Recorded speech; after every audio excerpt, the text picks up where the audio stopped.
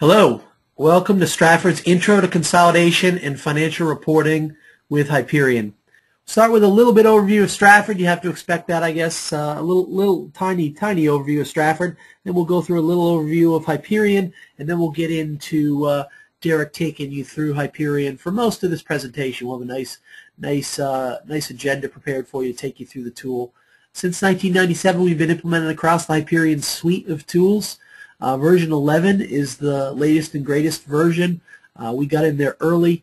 Uh, a lot of experience integrating consolidation in detail with uh, with some pretty stringent budgeting and forecasting needs and some pretty deep data models. And uh, thank you very much, Scott, and good morning, everyone. As Scott told you, I'm one of the certified Hyperion implementation specialists at Strafford, and I'll be taking you through the Hyperion toolset today, showing you how pretty simple it is to walk through and how powerful a tool Hyperion really is.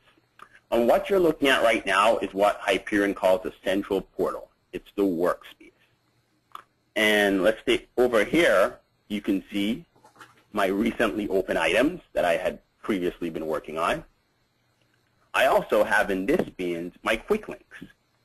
This is going to show me all the applications I have access to and I can also set up a little favorite page. Maybe if I want to have Oracle support, a quick link right to Oracle support, I can set that up right here, right on my quick links page.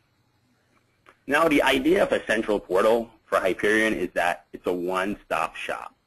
I don't need to go to multiple logins or multiple modules. I can get everything done right in here.